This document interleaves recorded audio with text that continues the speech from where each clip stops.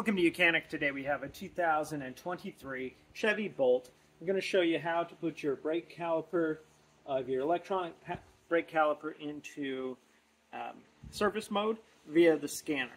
So we have the YOUCAN-II scanner hooked up to the vehicle. I'm going to show you what you need to do inside and then you can be able to release the brakes um, so that you can replace them.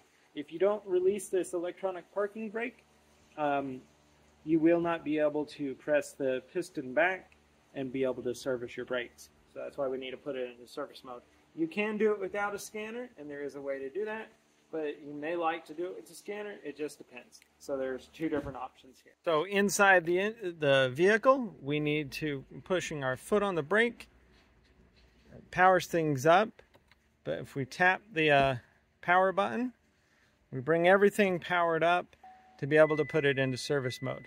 We have the scanner hooked up and now we will go and go through the scanner portion to be able to put your brakes into service mode.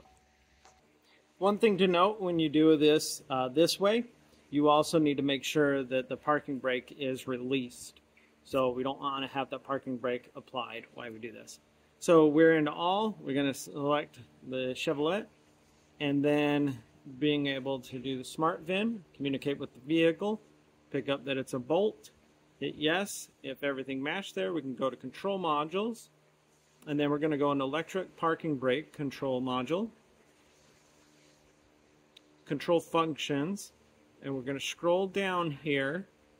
And then you see rear brake caliper piston retract or rear brake caliper piston extend. We want to retract them to be able to work on it. And so we're going to tap that. And then we can hit release here and you can hear the motors winding back and that will be on both sides.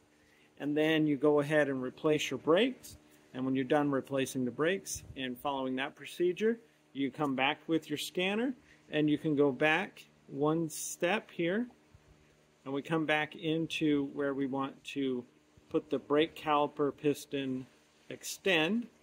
We tap that and then we just hit apply and now the brake calipers extend until there's too much pressure and then they back up and extend a little bit and now you'll be able to use your brake system um, normally for your parking brake.